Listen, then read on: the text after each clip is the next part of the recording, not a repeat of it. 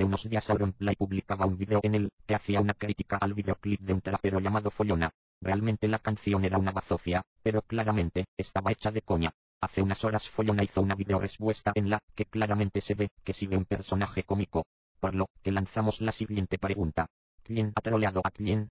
Auronplay dejándolo mal ante millones de personas, o Follona ganando una publicidad masiva. Déjanos tu opinión en los comentarios.